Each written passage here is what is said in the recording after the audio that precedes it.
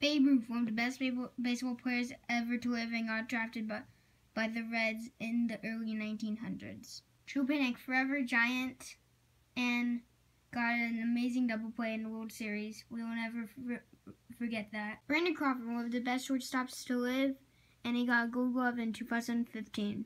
David Ortiz, is a crazy slugger for the Red Sox, and is the best left-handed hitter in, on the Red Sox today. Willie Mays, the best player, baseball player ever to live. He played for the New York Giants, the San Francisco Giants, and the New York Mets.